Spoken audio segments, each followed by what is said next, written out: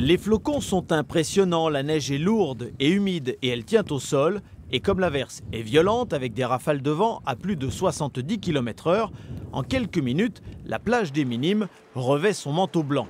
Pour La Rochelle, c'est un épisode neigeux inattendu à la veille du printemps, un phénomène climatique expliqué par les prévisionnistes de Météo France. On a eu une dépression qui est venue se centrer sur notre région et avec l'air froid qui, euh, qui, nous arrive du nord de l'Europe et du nord de la France depuis deux ou trois jours, il y a eu un conflit de masse d'air qui a provoqué ces précipitations neigeuses sur notre région euh, aujourd'hui.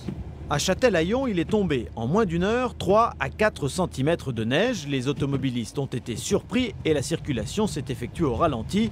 Circulation perturbée également entre Rochefort et La Rochelle.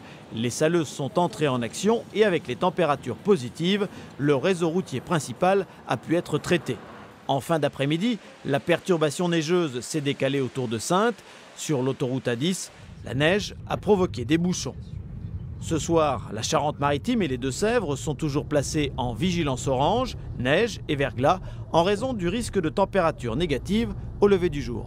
Demain matin, on va avoir un temps plus calme mais plus froid puisqu'on attend des, gelées, donc des températures voisines de moins 1 0 degré, avec localement un risque de, gel de chaussées humides euh, sur les endroits les plus délicats.